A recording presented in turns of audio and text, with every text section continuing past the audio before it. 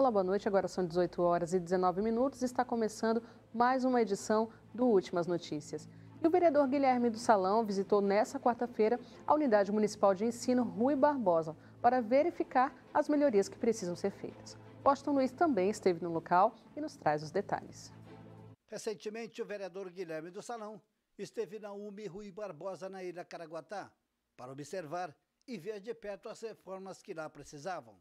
Ele retornou, convidou também o secretário de manutenção, Gilvan Guimarães, e eles foram recebidos pela diretora da UMI, Maria Joseli da Silva. Para o vereador, a visita foi importante e ele tirou algumas dúvidas e ele fez também questão de agradecer a todos. Essa reunião, essa visita em loco, ela é super importante para estar tá, é, suprimindo algumas dúvidas, né? Então a gente conseguiu agradecer aqui ao Gilvan Guimarães, secretário de manutenção, por ter visitado aqui em loco, né? Que é uma, uma situação muito importante para estar tá acontecendo. Em conjunto aqui as mães, agradecer também a diretora, né?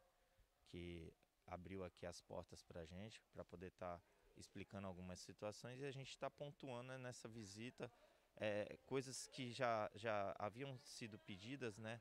Mas é, não havia sido pontuada, assim, vi, vista em loco, né? Então a gente podendo apresentar isso, fica até mais fácil para o pessoal ter esse entendimento.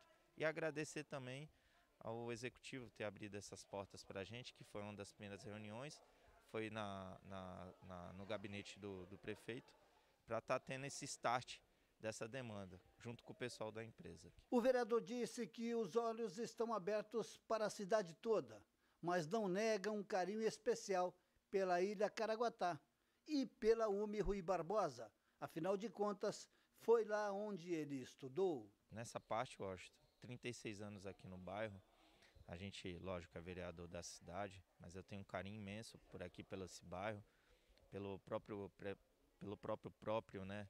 a escola Rui Barbosa, foi onde eu me formei aqui, estudei. Então a gente pega esse carinho, né? Então leva como uma, uma, uma um desafio, né? Para a gente estar tá buscando um melhor ensino para as crianças. Meus filhos no futuro estão passando por aqui, com fé em Deus. É uma forma de, de agradecer, né? A você, população, também. A gente está tendo esse feedback dessa, dessa visita, desse tipo de trabalho, tá? para dizer para vocês que a gente vai estar tá acompanhando sim de perto, entendeu? Para estar tá tendo essa transparência para você, população. Para a diretora do Rui Barbosa, Maria Joseli da Silva, a Jo, a reunião foi muito proveitosa. Essa reunião foi muito produtiva, tá? o vereador, o Gilvan e as mães, né, e a própria escola, para a gente poder discutir o que está acontecendo na escola e a gente tem um posicionamento. Agora eu estou mais segura, a escola também vai ter uma resposta é, dos próprios secretários Gilvan do que será feito tá, para que nossa escola tenha uma melhora para o futuro, para o próximo ano, para este ano. Vai vir todo o manual descritivo, com o que vai ser feito, até quando vão ser as obras. Então, isso é muito importante para que a gente possa se posicionar e passar para a população a informação correta do que está acontecendo. E eu tenho certeza, com que essa empresa, com essa comissão de mães, com o vereador, que está sempre nos auxiliando, com a direção que está sempre de portas abertas e os pais, que agora vai dar tudo certo. Eu tenho confiança. Com certeza, eh, eu trabalho há 12, 13 anos nessa escola. Essa comunidade, esses alunos, merecem sim uma escola de qualidade. E eu acho que agora é o primeiro passo de um trabalho em equipe, um trabalho onde nós estamos conversando, que nós temos o comprometimento do secretário, comprometimento do prefeito junto com o secretário, o vereador cobrando e todos os pais que estão que vão fazer parte da comissão que vão estar repassando as informações para os demais pais, nós teremos sim uma escola de qualidade para o nosso futuro dos nossos alunos. O secretário de manutenção Gilvan Guimarães disse que as obras serão feitas em duas fases. E gostaria de esclarecer bastante sobre a manutenção das escolas. Hoje nós temos 57 escolas na, na cidade, né? E estamos fazendo essa vistoria em todas elas. Temos escolas prioritárias, como o tema que é o Rui Barbosa, temos o Pernambuco, o Ulisses Guimarães, temos várias escolas. E essa aqui hoje, com o vereador, fizemos uma vistoria geral, tá? nós já em reunião com o prefeito, o prefeito vem muito preocupado com a situação das escolas, ele quer colocá-las em ordem esse ano, para o ano que vem. Tá? E aqui nós vamos fazer em duas fases. Nós vamos começar o telhado inteiro, fazer a manutenção do telhado completo, Tá? Depois vamos partir para o forro e colocar tela para acabar com o problema dos pombos. Em segunda fase, vamos fazer a manutenção interna, acessibilidade, os banheiros, adaptações que tem que ser feita e deixar a escola na condição ideal para os alunos. Essa é a fase, a primeira fase nossa, né? Na escola. Isso aí vai ser feito em todas as escolas. A vistoria em todas elas, para a iluminação, tá? a parte de paisagismo também, como o vereador está sugerindo propostas para nós, vereador, isso é importante para nós, tá? que a gente faça tudo que a escola está precisando, que a comunidade precisa. Após a visita na UMI Rui Barbosa, o vereador aproveitou e visitou a creche Marta Magali, também na Ilha Caraguatá, e viu de perto as reformas que lá precisa. O INSS cortou 59% dos benefícios por incapacidade que foram chamados a passar pelo pente fino. Quem foi convocado e não conseguiu comparecer à perícia tem até o mês que vem para fazer o agendamento. O José Mário Alves nos traz mais informações. O pente fino do INSS corta seis em cada dez benefícios analisados. O governo publicou uma convocação com os nomes de mais de 95 mil segurados que precisam agendar a perícia do pente fino. Mais da metade dos auxílios doenças que passaram pela perícia do pente fino do INSS foram cortados. Até o momento foram feitas 50.191 avaliações e foram encerrados 29.639 benefícios em todo o país, o que corresponde a 59% do total analisado. Na última semana, o governo federal publicou uma convocação com os nomes de mais de 95 mil segurados que precisam agendar a perícia do pente fino para não terem o benefício suspenso e posteriormente cancelado. No estado de São Paulo, foram convocados 10.735 titulares de auxílio-doença que não passam por perícia há pelo menos seis meses, atrás apenas do Rio Grande do Sul, com 11.816 convocados. Na sequência aparece a Bahia com 6.880 e Rio de Janeiro com 6.528. Estão na lista todos que não foram localizados pelo INSS e também os que receberam cartas mas não agendar a avaliação médica no prazo. Esses segurados terão até o dia 11 de novembro para agendar a perícia pelo 135 ou pelo meu INSS.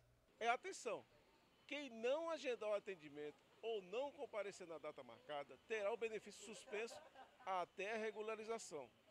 Após 60 dias da suspensão, o auxílio poderá ser cortado definitivamente.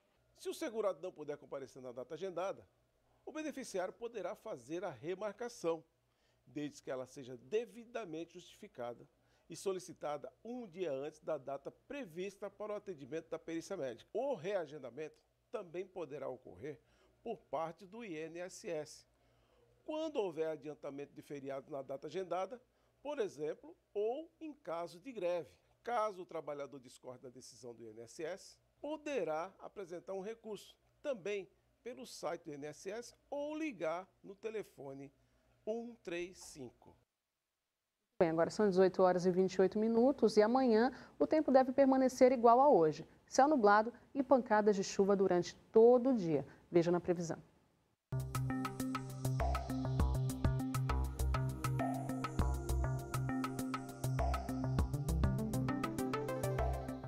Frente fria avança pelo estado de São Paulo nesta quinta-feira. Após a passagem do sistema, os ventos que sopram do mar favorecem a entrada do ar mais frio e úmido, deixando o tempo mais instável. Em Cubatão, o dia será de chuva com volumes elevados em todos os períodos. A chuva deve vir acompanhada de rajadas de ventos que chegam até 27 km por hora. As temperaturas registram uma leve queda, com mínima de 17 e máxima de 23 graus.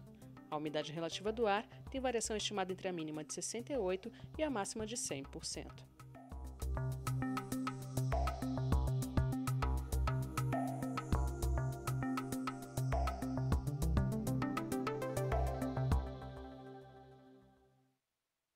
Na 28ª sessão ordinária realizada ontem na Câmara de Cubatão, os vereadores aprovaram três projetos de lei. Confira o resumo da sessão com Washington Luiz. O vereador Guilherme do Salão apresentou uma moção de aplauso na 28ª sessão ordinária realizada na Câmara de Cubatão. A moção é para o Teatro do Caos, pela brilhante encenação Caminhos da Independência, que ocorreu entre os dias 9 a 12 de setembro. A vereadora Jaque Barbosa apresentou dois requerimentos. Um deles, que o setor competente encaminhe à Casa de Leis projeto garantindo às servidoras municipais, gestante ou lactante, enquanto durar a gestação, de quaisquer atividade devendo exercer suas atividades em local salubre, e auxílio aluguel às mulheres vítimas de violência doméstica no município de Cubatão. Exatamente, uma preocupação que se estende por muito tempo e conforme eu falei aqui na sessão, é, boa parte da nossa população é de imigrante nordestino, né? Então isso dificulta a mulher que sofre agressão a voltar para o seu lar de origem.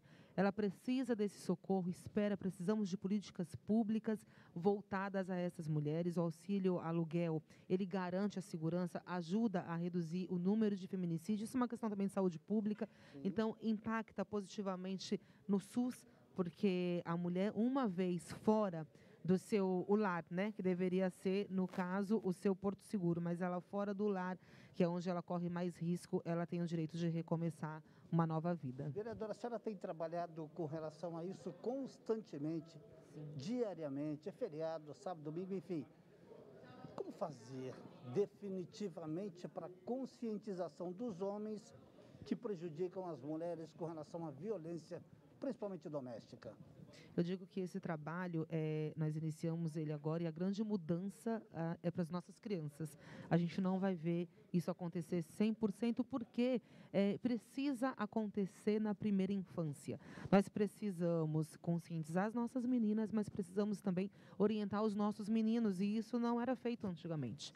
Então, você dizia para a menina, olha, você não deixa que façam isso contigo mas ninguém disse para o menino: você precisa respeitar aquela menina, você não pode levantar a mão e nem a voz para aquela menina. Então, um trabalho de formiguinha é árduo, mas se a gente olha para trás, a gente enxerga o quanto já avançamos. Qual a preocupação da senhora também com relação às servidoras gestantes? Há um projeto de lei, enfim? Hoje eu apresentei um trabalho é, voltado à gestante e lactante servidora municipal aqui em Cubatão. Hoje nós temos um, uma lei já sancionada que atende a gestante, mas em regime seletista. Então, se ela trabalha em local insalubre, ela precisa é, ou ser transferida para um local salubre ou trabalhar em home office. E essa lei ela não se estende à servidora pública. Então, hoje a gente pede que o executivo é, tenha olhar sensível à, à nossa servidora pública municipal e que essa lei se estenda também a essas mulheres. A própria vereadora, em questão de ordem, pediu para que os parlamentares entrassem direto na ordem do dia. Na pauta, três projetos de lei do vereador Rodrigo Alemão, que fala sobre o assentamento das ruas no bairro Beira Rio. E projetos que parecem simples, que não têm importância, mas têm uma grande importância para a regularização fundiária do local. Regularização fundiária, o que, que é? É permitir que aquelas propriedades, que aqueles imóveis tenham a escritura para os moradores correspondentes. E para se chegar até essa fase, nós temos que, temos que ter a nomeação das ruas, o emplacamento das ruas. Perfeito. No qual aquele bairro que é um dos mais antigos da cidade, nós não, ainda não temos. Então, a partir de toda uma intervenção política para a questão da, da ligação do, da água e do esgoto, da, a questão da iluminação pública, ou seja, vários requisitos necessários, nós estamos avançando e agora a pendência realmente era a nomeação do nome das ruas. Então, foi um processo é, piloto aqui na cidade, foi um processo em que a própria população escolheu os nomes em que foram propostos aqui nessa sessão de hoje e aprovados por unanimidade. Então, o processo agora encaminhou mais para que todos aqueles moradores tenham a sonhada escritura pública de seus imóveis. Ou seja, o pontapé inicial para facilitar também, é, além da regularização fundiária, é, é, facilitar a vida dos moradores do local, né, dúvida, Sem dúvida. Além de trazer a dignidade das famílias em que tanto lutaram para ter o seu imóvel documentado, nós também poderemos ter a oportunidade daqueles moradores, por exemplo, que queiram vender o seu imóvel, que queiram entrar a morar naquele local, que possam vender através de financiamento, etc. Então foi um passo muito importante para que todos aqueles moradores tenham sua sonhada escritura pública. E é importante também ressaltar o trabalho da Secretaria Municipal de Habitação, em nome da doutora Andréa Castro, em que faz um papel fundamental para todos esses processos estarem encaminhando e caminhando com tanta eficiência em nossa cidade. Aliás, outras regularizações fundiárias foi feito com o esforço dela também, não é, vereador? Sem dúvida.